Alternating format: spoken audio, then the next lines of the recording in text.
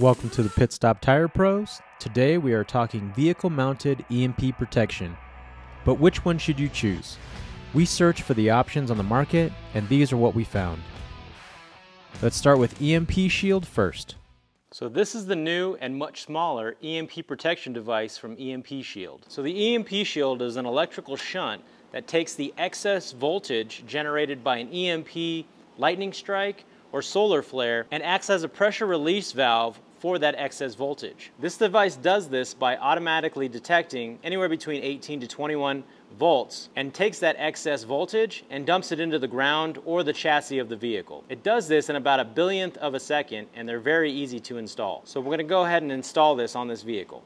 First, I like to clean the area of the body that I plan on mounting the device using some isopropyl alcohol directly on the surface. Then after mounting, I tuck in the excess wire behind the battery as I plan on going to a dual battery setup, so I'll need the extra wire to set it up in the future. The device has three leads black as a neutral, green to my ground, and red to the positive terminal of the battery. I first start with my neutral wire, connecting to the negative post of the battery. Then remove the ground cable that is connected to the body and add my green wire there and lastly, connecting my red wire to the positive post of the battery. So we have a couple of additional products from Faraday Defense. Now the EMP Shield is kind of a all-in-one type device. It has a very, very high uh, output for being able to shunt uh, high voltage frequencies. Um, these are another product. Um, you can look on EMP Doctor. Dr. Arthur Bradley talks about these trap devices or transient reducing auxiliary plugs as well as high saturation ferrites. And essentially what these are doing is these are capturing all of those high frequencies of electrical voltage and capturing it into these devices.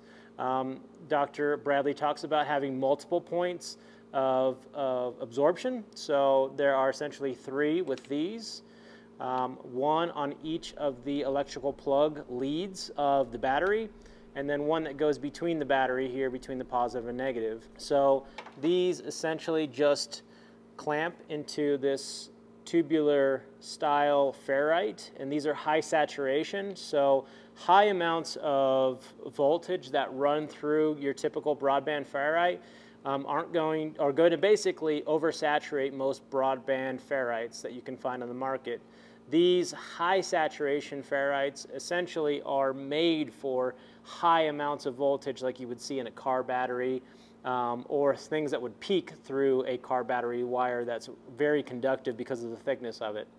And so these are especially made for these types of situations where they make these high saturations. Other purposes you would see is like into the three leads of an, uh, of an electrical box on the side of your house for main service. So we're going to go ahead and install these three items and make this vehicle with three points of protection for EMP protection on this uh, Toyota Land Cruiser. Super easy. Just open the clamps and strap them to the largest wire or bundle that goes to the positive and negative sides of the battery. You may have to remove some of the protective conduit to fit.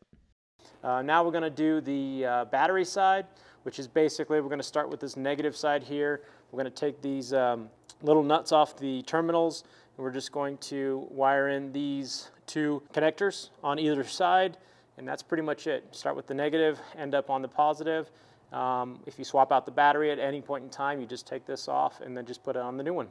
Now either options can work, one as a standalone premium option or the multi-point transient reduction, which is definitely the less expensive option.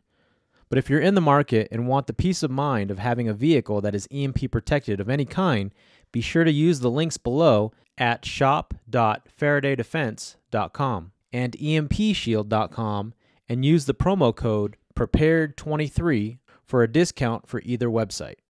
The last device we have is a 12 volt DC trap and is easily plugged into an empty outlet providing that multi-point reduction that Dr. Bradley states is the key. Plug it in, and it's good to go.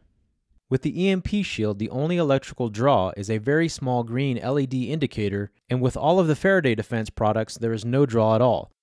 So no worry that these devices will drain the battery. If you love the preparedness kinds of content when it comes to vehicles, it's definitely something we love to touch on. And if you find value in the amount of research and time it takes for us to find and understand how these work and are installed, consider subscribing or just liking if you enjoyed it. Thanks for joining, and we'll see you in the next one.